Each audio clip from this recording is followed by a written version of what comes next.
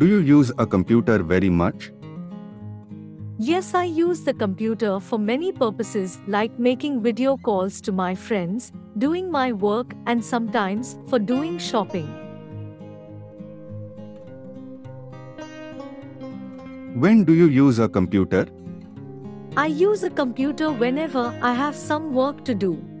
I don't use computers excessively because I know sitting in front of electronic gadgets can make my lifestyle sedentary. So I use the computer only for essential works. What do you use the computer for? As I above mentioned that I use the computer for various purposes as well as sometimes I use a computer to play some games and for watching movies.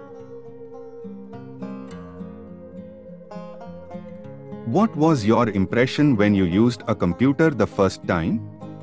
When I used the computer for the first time, I was very excited as well as a little bit nervous because Vertical Bar had no prior information on how to operate the computer. But as soon as I started to operate, all my false fear vanished.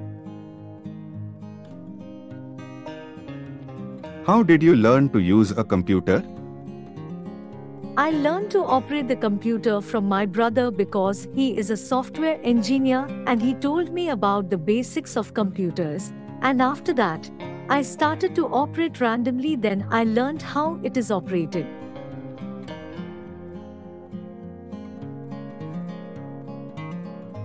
Thank you for watching the video. Please like, share, and subscribe for more videos.